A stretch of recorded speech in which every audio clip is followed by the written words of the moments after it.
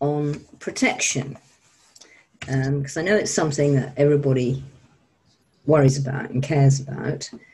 And there's lots and lots of ways of doing it, um, and lots of reasons why you might want it, really. Or need it. Or need it, yeah. Well, want need in that case becomes a little bit sort of the same sometimes, doesn't it? Although you can think you want it. Yeah, that's actually true. You can think you want it, and actually you don't. Mm. Actually, whatever it is that you're scared of is is actually a good idea. And there's also the opposite way around, which is when you don't think you need protection, and my golly, you did. oh yes. So um, yeah, it's the usual get out of your head and get out of your normal ideas about what what you need protecting from and who needs protecting from what, because they probably don't fit. No. Mm, so it's one of those things. We had one of our students had a bit of a problem recently, um, which is sort of what set us off on let's get some little courses together for deer trods. Um, she's out for a walk on her own. She, she always goes out for a walk on her own. She's been going out for a walk on her own for 20 or 30 years with a dog. And um, she knows the place like the back of her hand. And she's never had any trouble at all. But this time, she suddenly got a sort of, well, she didn't, No, the dog did, didn't she? Her dog put her hackles up. And so she turned round and got this really creepy feeling because there was this bloke, um, absolutely Hammer horror films casting, casting because apparently he was all in black. Is very strange. Yeah, a black suit. I'm not quite sure what she meant about black suit. We'll have to find that out. Well, um, I, have got this mental image of like the men in black with a. So have I. Yeah. and considering she was, um, you know, right out in the wilds, on the edge, on well, on the top of a hill, I think, um, in the woods, it was like, hmm, yeah, I don't normally see black suited blokes up there. Possibly black leathers. Yeah. Bikers. Yeah, could be. They're usually not a threat. Um, and if it was a tracksuit and not a, a suit suit. Yeah, that would be that would be quite normal as well. But anyway, she got this really creepy feeling from him, and the dog wasn't happy either. So if a, if your dog's not happy, is probably something to take notice of because animals do know. And um, so she sort of shot up the hill to the field where she was going, and took a dive into the field, which was lovely and she could get out of his way and out of his sight there. Um, so she got right over to the other side of the field and looked back, and there he was, looking over the gate, looking for her. Mm. Now that is creepy. Yes. That is seriously like, is this bloke stalking me? What's going on? Um, so she asked Otherworld for some protection and help, and um, kept very, very still, a bit like Bunny. Mm-hmm. Yeah.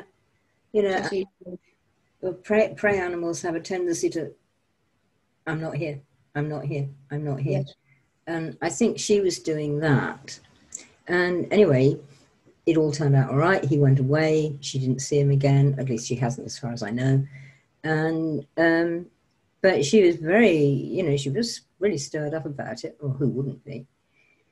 And so she posted it um, in one of the students' groups. So it sort of set us off that, yeah, um, she's got some ways of protecting herself, but it it's the sort of thing you need to be able to do really fast. Yes. Because these situations, like, bang. You don't get a week's notice in advance in writing. Be nice, but you don't. No. It's like that. You need it now. Yep. Yep. Which means, of course, you need to practice ahead of time. Yep. Um, and that's something we've both been thinking about. And uh, we've got various sorts of things that we're offering. But what's what's the basic underneath yours, Fiona? The ones you're offering up. There's there's two there's two real themes. One is being really familiar with and very able to manipulate your own aura. Yes. Being able to put energy into it, being able to stir your chakras up quickly. Yeah. So that you can put energy into your into your aura and make it the way you want it. Yeah. Yeah.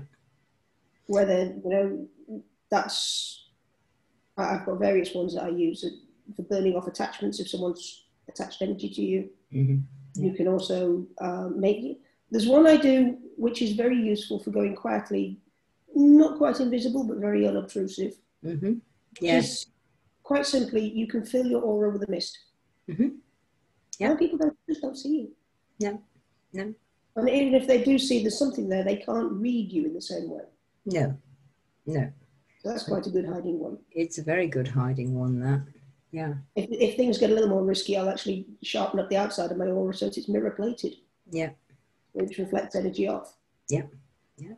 Which is another very good way of doing it, and Yes. it also that does help to make you invisible. It does. It makes you quite invisible, that one. I used to use this um, when I lived in London, and um, I quite often, um, partly for work actually uh, at the time, but I quite often we we work very late, and then the three of us in the programming group would go down the pub and eat, and you know, relax and that. So I'd be coming home on the tube in London on the underground at about midnight, one o'clock and there can be some very odd people around at that time. I mean, this was 20 years ago, and there were still very odd people around then. There's always been very old people around. I think there always are. And then I got sort of about half a mile walk, half three quarters of a mile walk from the tube station to the house. And so it was like, I'm not here. Mm. And this invisible was really, and I, I've almost had people bump into me Yes. because they didn't know I was there. Um, and you have to sort of duck quickly because they can't see you, and you have to realise that. And it's a bit awkward if it looks like some bloke who possibly might have a knife in his belt. Um, so you sort of like you have to be very aware when you're inside invisible.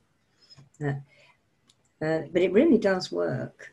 Uh, I learned that from um, one of my teachers, lovely lady called Stephanie, who was very good at it. And um, Fiona knows this story. It's about her Doberman Pinscher. Oh, yes. Yes. Yes. And um, she was teaching us all. We were in a lovely group, used to meet regularly. And um, her Doberman was like her familiar. Uh, he was absolutely gorgeous. I think he would have eaten anybody who tried to hurt her alive, but he just used to stand up with his paws on our shoulders and lick our faces, which was great. but there you go. That's how dogs greet. Um, so anyway, she kept him out of the room, which she quite often did if we were working, because you know animals always steal the show, don't they, Bunny?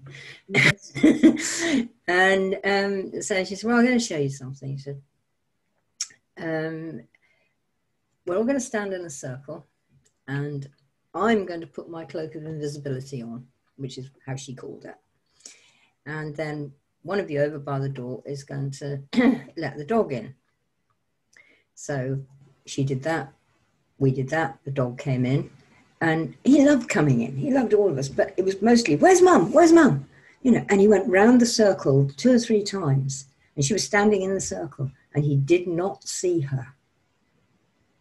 Now that's a dog, not a person. Much harder to fool. And um, uh, she was she was that good. Uh, I've got that good now, but um, at the time I wasn't. I was still learning. Uh, but it was like, oh, right. Yes, we believe you. How'd you do that? And she, oh, then she took off the cloak. She just slipped it off. And you went, Mom! And so practically knocked her flying because she wasn't a very big woman and licked her to death. So she sat down on the ground with him and, and, and let him lick her. And, what were you doing, Mum? Why, why did you go away? Where were you? I was looking for you. You know, and it was all like this. It really was. It was so beautiful. Uh, Yeah. so, so, yeah, it really does work and um, I don't know. Well, I mean, Poppy and Abe would be all right if you tried it with them, but I think George would be Abe is quite very upset. good. Sorry, Abe is very good at being invisible himself. Well, he is indeed. That's Yes. true. Yeah, so he's a good teacher. He is. And we might actually um, ask if he will come and help with some of these exercises because he's he is very very good at that.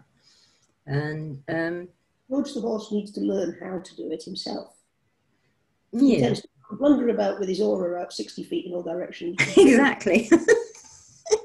you go, there's a horse. Uh, yes, there's a horse in the distance. but yeah, it's it's very very useful being invisible, Mm. but it isn't always necessary. So No. it's one to use all the time. No, no, it isn't. And on the other hand, once you've learned that exercise, you can just dial it back Yep. so that it's exactly where you want it. Yeah, yeah. If you're doing a healing, it's useful to be able to just make sure that no energy is going to attach to you from a client, for example. Mm, yeah, yeah. Without actually being totally invisible to them because you can't do anything. It doesn't help at all. No, they get quite nervous. and it actually helps because since COVID, we've both been getting used to Zoom and working online and that sort of thing. And um, we're both doing one to one work on Zoom, which we always did before with somebody actually present with you. But it very often isn't a good idea nowadays. Um, and it's for me, I don't know what it has for you, but for me, it's really opened it up too because we've got, I have had people from America and France and Australia and all this, sort of- and they'd never be able to get here in the normal sense of things unless they're millionaires. Um, and then it's still not a good idea. But um, you still need that protection, even if there's a screen between you. This is something that it takes a while for most people to get their heads around, doesn't it? Mm, it does. Distance, distance really doesn't exist in the energetic world. Mm. You can send healing over vast distances. You can you can do shamanic journeys over vast distances. Uh, it, it really makes no difference at all. No. In the same way, Yeah. you need defences over vast distances. Yeah, because somebody can hit you through the screen just Oh, as yeah. easily as they can if they're in the same room with you. Yes. Well, we've both experienced, uh, you know, people who've been able to do bad things from thousands of miles away Absolutely. without. Yeah, literally the other side of the world. Yes. Which takes us on to the second category of defence, which is how to defend your boundaries physically. Indeed. Indeed. The edge And- of my field, for example, or around the outsides of your garden. Um, or the area really, thinking about that. And I've, I mean, I've had to it because I live right out in the country and so does Fiona. Um, and we've got our own property and its boundaries. But often, other world and the natural world want you to extend those a bit. And they say, well, can you do us as well, please? Yes. And so you have to learn to organize those boundaries, don't you? And how far, how far does the island of Britain. indeed, but your pres with um, the croft, how far does your boundary sort of stretch roughly at the moment? Actually, out to the edge of the, the forest all round. That's what I thought. So Yeah. a mile in all directions. Yeah. Yeah. Which is an awful lot bigger than the, the, the little field that I actually own on paper. Yeah. Well, you've got about six, seven acres, haven't you? Or six acres. Yeah, Yes. yeah. I'm probably covering something like a couple of hundred. Must at least no, it, it's probably more than that It could well be. actually. Yeah, because it's like a mile or two. It's quite hard to visualize an acre in circles. Well, it So, is. Yeah, yeah. You can sort of see at the field and go, I think it's roughly about that much. And you're still likely to be out by an acre either way. easily. Um, but I was sort of thinking because you can actually, I mean, I I've been there, so I, I can see it. Um, I mean, you can see in some direction, you see two or three miles to the edge, can't you? Um, I would say roughly a mile, maybe a mile and a half in one or two spots. Well, I was thinking about the the circle forest Yes. because that goes down a long way. That goes all the way down to the main road. Yes. That's probably three or four miles. Yeah, that's what I was But thinking. don't cover it all the way out to the other side. The forest actually looks after itself. I'm supposed to cover it up to the edge of the forest, and then the forest takes over. Yeah. Yeah. Which is interesting. Yeah, it is. So up to the end, So what you're actually protecting is stuff that has been worked by humans. Yes. Although the forest has been too, but it seems to be more solid. The forest has been, but there are bits of that that never have been. Yeah, that's and true. I think they've spread out to cover the forestry plantation. Yeah, yeah. Which is sort of picked it up from them, and it, it's it's mature Sitka spruce. Yeah. So it's it's pretty good at looking after itself. Yeah. And so also thinking about this, um, part of its protection, and I mean, um, the German bloke whose name I can never remember, the secret, uh, hidden life of trees man. Mm.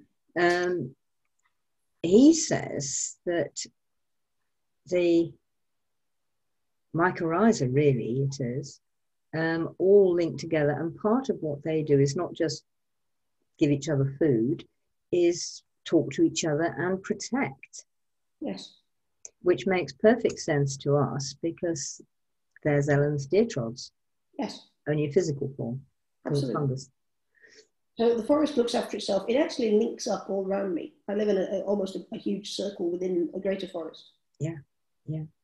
And enough of that is either rough ground that's unplowable mm-hmm. or actual forest mm. that it does form a complete circle mm. with ploughland in the middle. So I just I just look after the ploughland. So as part of the protection, do you actually connect to its energy as well? Yes. Yeah. Yes. Because that's what I do here. Um, well, you have to. You can't. You can't take on protecting a piece of ground unless you are in communication with that ground yeah. and have its consent. Indeed. Because it's a lot bigger than you, and it'll go. Yes. if it doesn't want you, but it probably does. So don't worry about that. But I I'm, use. not only, I'm not the only one who protects it because, of course, the horses help. Indeed. And don't tell me, I'm sure Black Duck and her, her mates are in there. Actually, the geese. The geese are amazing. Geese actually do a lot of protection work. Yeah, they, and they always, I mean, they've even been the physical protectors for thousands of years, haven't they? So, yeah. And um, so I think, but I might be wrong, do the ferrets. Yes. The ferret, it's quite interesting because it's sort of division of labour. The geese do things above the ground, the ferrets do things below it. Yes, yeah, makes sense. Yeah. It's not as if they're physically going down tunnels all over the place. No. because they have their cages and their playpens and they're perfectly safe. but they energetically, that's where they're they're concerned with underground realms. Yeah. Whereas the geese take on the air and the land, the surface of the land. Yeah. And I sort of knit it all together and help. And the horses sort of join in and knit too. The horses join in and knit. They also horses horses by nature are, are weird walkers.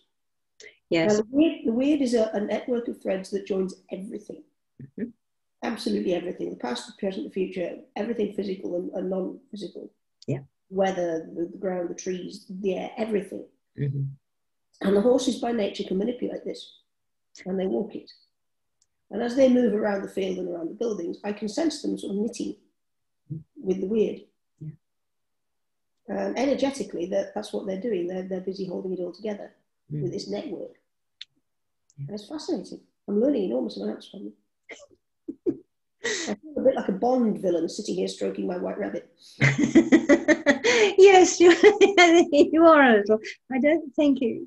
I mean, that was a very beautiful cat. Yes. Um, yes. I've forgotten his name again, but he was he was such a good villain. He was absolutely yes. brilliant villain.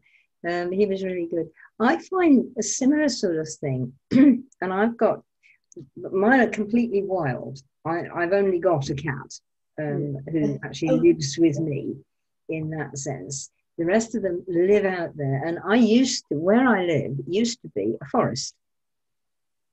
And then the farmers came along and cut it all down and turned the land into pasture. And uh, I think during World War II, like everywhere, they, they dug quite a lot of it up and tried to grow grain. It doesn't grow grain or anything like that very well. There is about yay much topsoil in most places. and then it's rock and stone and subsoil. Um, but it grows pasture brilliantly. It really does that well. so I'm in this sort of ex forest, which isn't, I don't think, part of the Long Forest, but it might have been related to the Long Forest. The Long Forest, if you've read Cadfael, you'll know about the Long Forest. Um, it's all along Wenlock, Wenlock Edge. And it is long, it is miles, and it, it was always long and thin. Um, but going right back into prehistory, it's quite possible that the forest where I am might have been linked to it. I haven't investigated. It would have been. It would have been. Almost certainly. Yeah. yeah. And we have got bloody great high hills in the middle, so it's possible there was a gap. Well, the tops of them might have been clear. Exactly. Yeah. But I haven't investigated. I haven't investigated it properly, but we have deer around here, um, mostly roe and fallow, um, although there are people are telling me they're red deer, but I'm not sure. I think they might be sort of Sika or Sika cross. There will be Sika hybrids. There are no pure red deer left on the mainland of Britain. And uh, is that true even on Exmoor? Well, the only place you'll find a pure red deer these days are the, the Hebridean Islands. Really? Yeah. Yeah. Yeah because they've never they've never been crossed anyway. No. Yes. no, no. So yeah, I, I was right about that. But um, whatever, they're still deer, and there's roe deer and fallow and these Sika crosses, but they they seem to be fewer. I mean, mm. I was very used to lots of red deer on Exmoor. We don't have lots of red deer here, but we do have roe and we do have fallow, um, both of whom are very good. Um, they're another prey animal, of course, so they're very good at hiding and being invisible and not being seen. And they work, they really work with what to them is still the forest. Even yes. if they come out into the fields, to them it's still the forest. And the other thing which totally fascinated me, and I've only discovered, I've only sort of really got to grips with it in the past years, we now have pine martens again in Shropshire. And they arrived here by themselves. Nobody actually brought some pine martens in and put them here. Not that there's anything wrong with that, but nobody did. They came of their own accord.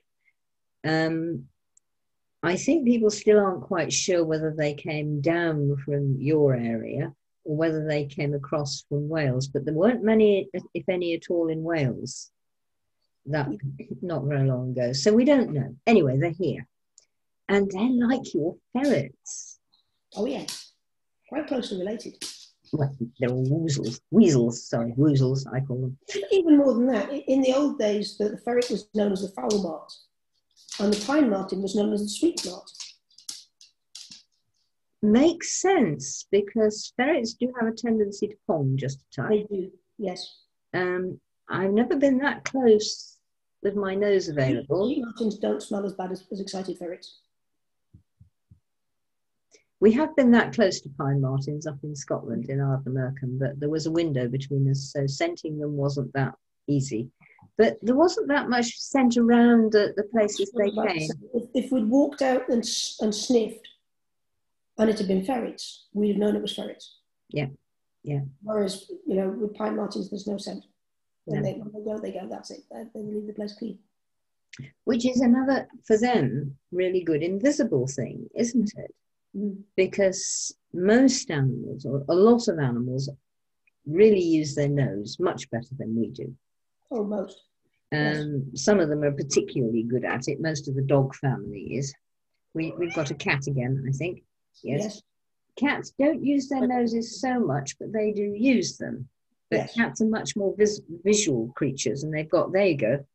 Look at those eyes. Yes. Now she's really she's got her eyes wide open, which means she's seeing everything, and she's quite excited. Mm. And like, what's going on? Don't tread on anything, darling, please. She's about to stick her ears into the picture. You probably all heard that.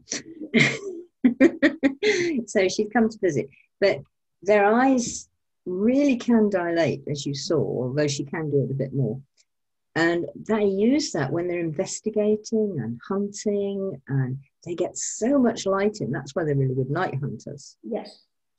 and they can, you know, it's a woof, and it gets all that light in. But when they're sort of feeling happy and quiet, and I just want to doze off, right down, and they've got these vertical slits, Yes. and that's your happy cat. Yes. And you go, "Oh." And Sitting in sunshine. Yeah. Vertical slit eyes purring quietly to themselves. Yeah, and then they're fine. But so um, we were on pine martens, not cats. You see how they steal the show. Oh, Um, but the pine martens, I as soon as I came to Shropshire and knew about them, I joined the local wildlife trust pine marten group, and I've got to know the people there. I've actually been out with them baiting camera traps and things like that, and never actually seen one. I've seen the tracks. I've never actually seen one yet here, but you do, and I know where to go if I want to sit and look. Um, now they do seem to do a similar sort of thing to the ferrets, but they're much, they're sort of half. They sort of reach under, but they don't go under. No, they're more tree animals. Yeah, but they also work a lot in the undergrowth, so they're Yes. sort of slithering along, and I can feel them. They're sort of like between earth and air Yes. and linking it, but they're very tree animals. I mean, yes, they go up trees. I have seen ferrets up trees, but they're really more tunnely sort of critters. They are, yeah, yeah, different sort of. natural prey rabbits and rats, so tunnels is where you find dinner. Mm, exactly. Whereas pine marten tends to be eating things that live above ground. Yeah, I mean, they, they eat birds, um, they, they eat rabbits. They Um, eat rabbits, and, birds, things like that. Yes. Yeah. uh, they catch them, tend to catch them above the ground, more like she does. I mean, she's in, she she's hunting. If she's interested in, in catching herself a mouse, you know, she'll go into the undergrowth and, and follow through. But she wouldn't go down. I mean, she'll go and sniff at the rabbit tunnel. Oh yes, but the cats wouldn't go down. No, she won't. No. And she just sits there waiting for the rabbit to come out. And you sort of think, don't be daft. The rabbit can smell you, you idiot. it's going out the other way. but um, no, um, that's sort of fine. But I was really interested in that. And you were saying about what the ferrets do and what I've, I'm discovering still what the pine martens do. But I can feel them like knitting Yes. as you feel your critters knitting. Yes. And it's fascinating. And the pine martens seem to be getting quite a network together. Um, what for you is the weird, what for me is the deer trods, but it appears to be the same thing. Um, that is really networking all the old places they used to be, and they are getting around to more places. And I touch into their network. Yes. I was just reminded there that ecologists speak of an ecological web. Indeed. And there it is. Yep, yep. All the animals going around mixing their energies and winding together. And it, it's it's something that we've, as humans, we've, we've pulled ourselves away from and we shouldn't have done. No, no we need to find a place in there. big mistake that was. Yeah. Um, but we can, I mean, and, so many people, and probably you if you're watching, um, you want that back. Yes. I, I, I keep back on that one to one thing again. I keep getting that in in one to ones for me, Yes. and um, you probably do too. We want to be part of the web, um, as we were. I was talking with another uh, witch friend the other day, and we were we actually we actually started talking about cooking because she she's a baker witch, and you know one of her big things is food and all that comes into it and how you use food and that's one of her big spells things. But she's a witch anyway. She's a hedge witch, and um, we were saying, you know, there is this food web as well. And we started getting really sort of excited about that. In fact, we want to talk about it again, so we will. But there is this web, which is the weird for you The deer trods, and the deer trods for the me. ecological web, the web of life. Yeah. It's known by many, many, many, many, many names. Mm-hmm. We know what it is when we meet it. And the energy web that physicists use, Yes. that you know, in the stars and how it how it works across. And if you look at their maps of um, dark energy and dark matter, which are different things. Um, but you look at them and they do look like a web because they have lines of energy from different points that meet up and they will connect. Um, so we are getting it in the face a lot at the moment. Yes.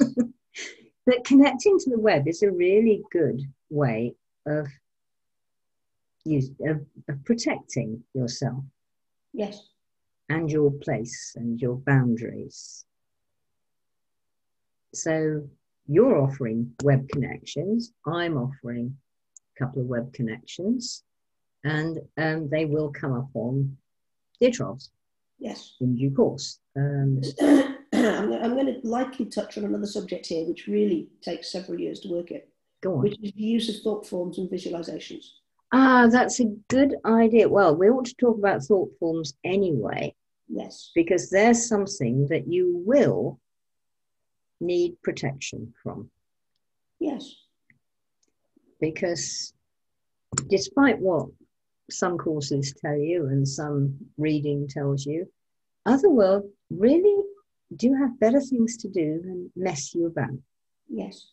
They're not a gang of boys at the lamp, yes, leaning on a lamppost, trying to have some fun scaring old ladies or something. Mm. They re- they're not interested. They're not up for that. There's too much to do. But thought forms, Thought forms. Thought forms usually come from humans. Yep. Yeah. Uh, they can be useful. yes, and we all do use them actually. Yeah, absolutely. But they can also get away from you. And you can also deliberately make them go away from you. You can deliberately set them on somebody else. And a lot of I never people, have, but I've had them set on me. and a lot of people actually do do that. Mm. And it comes ever so subtly, doesn't it? You know, you, somebody annoys you, I'll have them. Yes, That was a thought form. yes. Thought forms and curses shade into each other quite neatly. well. Is just a more, more formal version, really. Yeah, and it's more considered. And if you're Yes. if you're making a curse, you mean it. You know you mean it. Well, you can do a thought form quite accidentally. Most people fact, do. my first thought form I did do accidentally. Most people do. Yeah. Well, I used to live in a particularly rough bit of Aberdeen. Yes. and walking home late at night, yeah, I conjured the image of a white wolf to walk next to me, which was great, except it didn't go away. uh, I, I fixed that in a slightly complicated way, by actually ensouling the, the, the thought form. You With- I, I actually ensouled it. I, ah, there's a lot of people going to say, What? yes, what I did was I asked for help hmm and the spirit of an actual white wolf who had died a couple of years beforehand at, at Aviemore, the, the I know the one. Yeah, yeah. actually came and said, I will take this thought form and use it as a body, and that will keep it safe from doing any damage. Which was abs- Absolutely amazing, but it did definitely teach me that I was out of my depth at the time. yes, Yes, yes. So, and I was very lucky that this wolf did come and help. Yeah. yeah, As uh, a thought form that you, you conjure without meaning Yeah. does draw energy from you. and it also You goes around, again, and you don't know how to get rid of it. and it also goes around looking for energy in other people Yes, and sucking them. everything's a psychic vampire. Yeah. Yeah. Yeah. So this this this this white wolf came and, and inhabited it, the form, ensouled it, Mm. became soul within it, Mm. Um, and took it over from me, and that meant that there was no more energy draw, Mm. and the wolf wasn't going to go off and do anything horrible to anyone else. Being a far more experienced shaman than any of us, Yes, indeed. Yeah. and indeed that particular wolf is still part of my gang. Mm. It shows up on occasion when I need help. The wolf sort. I met him too. He was at the Abernathy Wildlife Park, not the current pack, the previous pack, and he was the alpha male. Mm. And um, well, they used to. I don't know. They still do. They had this tower you could go and watch in, Yes. And so I was up there, and he came out of the bushes, and he just turned and looked at me, and he got my eyes, and I was there. Yes. Yes. And it, He's, it- he's an amazing wolf. he is, and he is still around. I still see him occasionally, but he's not part, really part of my gang. He's just, oh hi, I remember you. Yes. Um, you okay? You know. Um, Yes. um, and that. But no, I know he's part of your gang.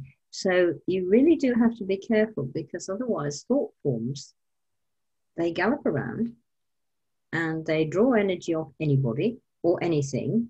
I Mm. mean, if you you've got any nasties around, because Bunny's not as fit as he might be, they draw from Bunny. Yes. All the horses, all the dogs, or for Yeah. me, they draw from Kellen or Paul, my husband. I, I have encountered thought forms which have attached themselves to a natural energy source in the, in the landscape and become Yeah. haunted. Yeah. Yeah. And they're, they're actually quite difficult to get rid of. Yeah. There's one not very far from us. Uh, When you come down, we must go out and have a look at it actually. Um, it's the Clee, the Yes. Hill. And um, whoa. And it's a huge hill and it's got this weird shaped rock on the top of it. At least it is, depending on which angle you see it from. And everybody, just even ordinary trippers, will say, funny place. I know there's lots of funny things have happened there, and it's been used by gangs for at least a thousand years and probably more. It, it Um, also comes up in Cadfael. I think she put a, an outlaw baron on top of Yes, it. she does. Yeah, Yeah. she does. Yeah, and um, and it is weird. Mm. It is seriously weird, um, and that is something from a long time ago, and I I think it's thousands of years ago, a couple anyway, um, that got there, but I don't know how. So, Mm. and I think I'd rather go up there with you. I, I think I need a little company if I'm going up there. there, are, there are places like that. And sometimes uh, this is another place where it's very easy to get out of your depth because sometimes you're not supposed to do anything about these places. I don't. As a, as a novice or a fairly inexperienced worker, you tend to sort of pull in going, I can fix this.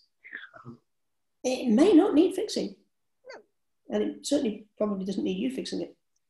And if you try, you'll probably get eaten by it. Yes. And um, as you all know, we're we're both quite experienced and have met a lot of things. And I'm still like, "Hmm, I think I want somebody I, I can rely on to come up and hold my hand while we go up there. so I shall wait for that. Uh, it does attract, mind you. The other thing about it is, it is so attractive, despite its weirdness. I mean, it really pulls the crowds there. It's a little bit like Piccadilly Circus going up there. So I mean, Yes. but it really pulls people. How much energy is it pulling of the people it pulls? Mm. That's another question. Yeah, indeed, indeed, and um, And, and before you go in there, you put some protection on yourself. absolutely, and that is a good use of the things you've mentioned, and uh, the one that I use, which I call high pressure, Mm. because it's like in the weather system. If there's a high pressure there, the low pressure actually can't get in, and it has to move away, and then the low pressure can come in. So you, there's a way of actually filling yourself or your or, or whatever you call it as a high pressure and asking it to be a high pressure and keeping things out. So that will be one of the ones that will go up. Um, one thing you're going to need, I mean, you were talking earlier about the chakras and filling Yes. the chakras. Now, they're good, but you will be very well advised to do some of the other short courses first so that you actually know what you're dealing with Yes. and not something just out of a book. I, I would actually start with the Earth Sun exercise and work up from there. Absolutely. Absolutely. Yeah. yeah. Um, so that sense, We will be doing we'll, we will be doing a course that discusses what the chakras are. indeed. And And it's it's more than worthwhile getting in there and learning. Yeah. Because like anything, you know, you can walk into a kitchen and pick up a knife, but if it's the wrong knife, you're going to cut the wrong thing with it. Or you know, try slicing bacon with a vegetable knife, you're going to be all there all day. You need to know what it is you're working with. You need to know your tools. Indeed, and it's really worth it. But it's like everything comes from from this this Earth Sun. Mm. That's a pain, I know, but you know it's a vertical axis.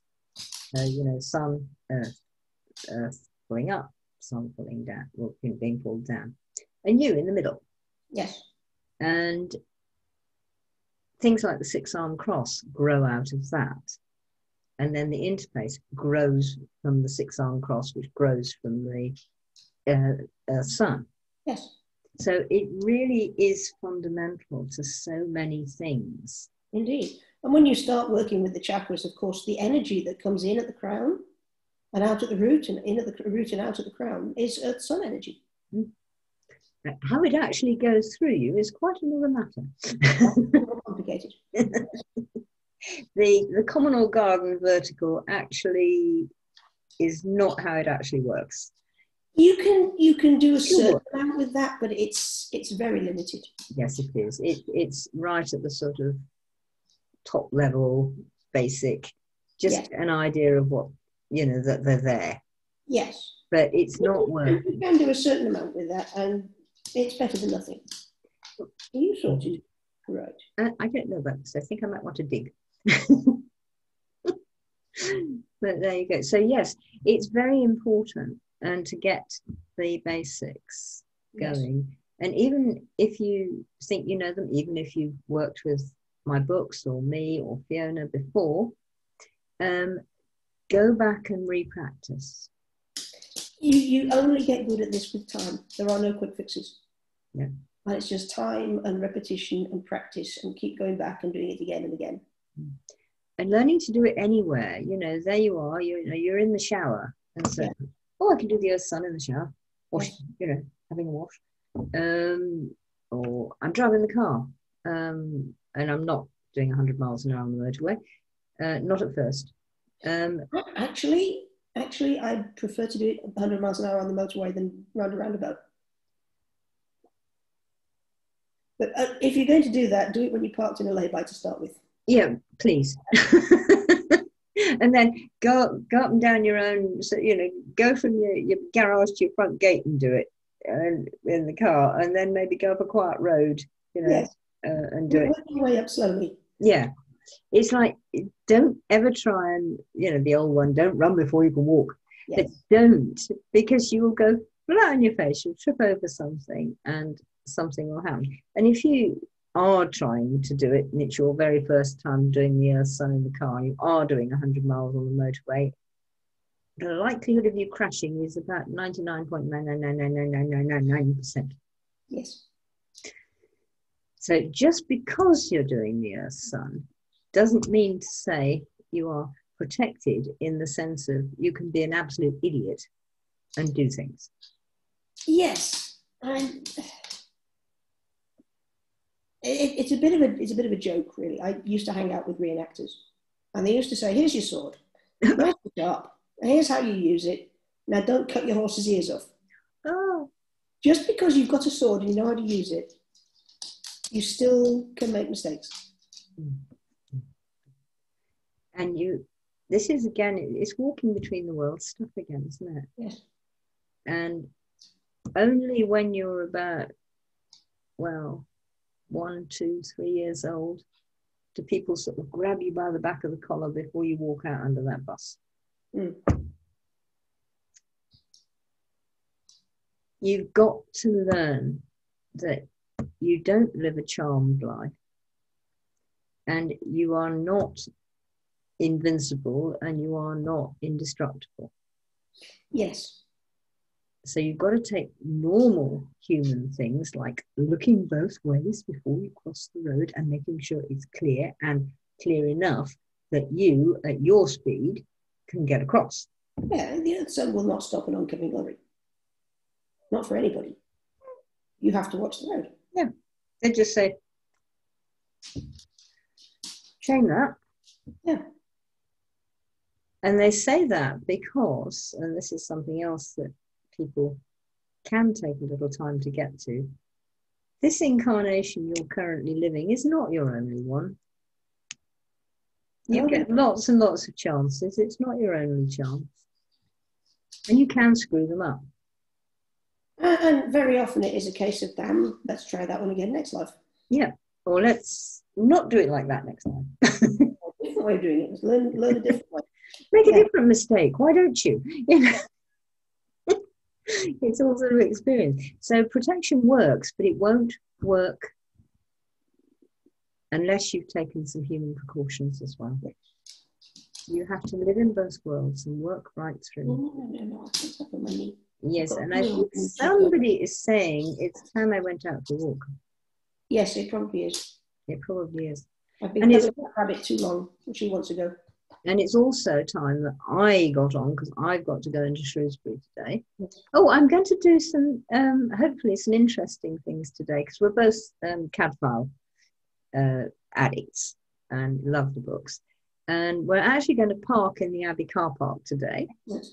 So we'll get a quick look around. And the Abbey isn't there, but you know, there's where it was and all this sort of thing. It's also next to the Wildlife Trust, so I'll probably be able to pop in and say hi. so many other things.